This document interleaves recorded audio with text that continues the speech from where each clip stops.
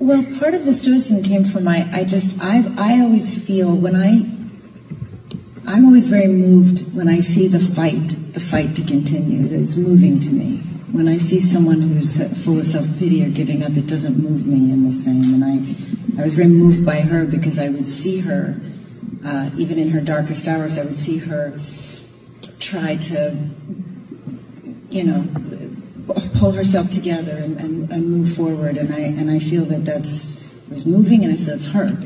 And um, and and I wanted this to be about what, a, what an extraordinary artist she was, as I know you did too. And this is a celebration of her and this artist who was a fighter, and and a, and a deeply feeling, emotional person, and a, and a someone who loved loved art and gave her life for it, not someone who was just a tragedy. You know, she she. Um, so so that was important, and the the process was, he said, just to, you know, for anybody here hasn't sung at the top of your lungs, it's a crazy thing to do, and it's the most important thing. We never do it, right? We never know what it's like to be fully in your body with your fullest sound.